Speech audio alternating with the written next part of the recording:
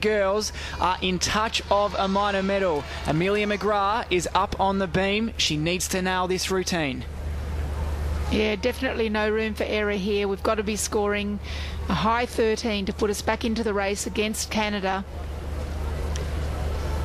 And McGrath opening with a very pretty full pirouette in handstand through to planche.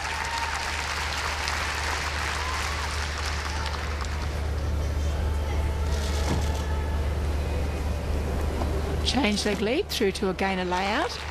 It's her favourite apparatus, the beam, Liz. Let's hope she enjoys this.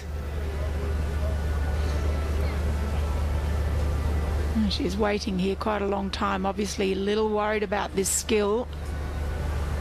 She might even get a deduction for pausing for too long. Front aerial, flip, layout. Okay, no cause for worry.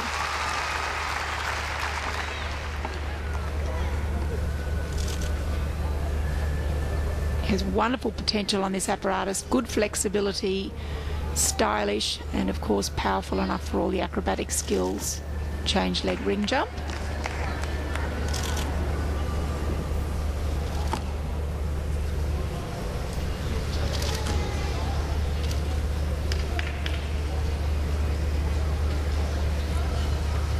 Full turn on one leg, leg up. Nicely executed, followed by another full turn.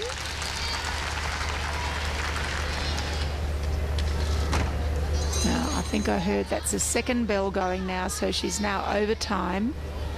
It is a 0.1 deduction, but nothing more than that because the judges are still judging the routine.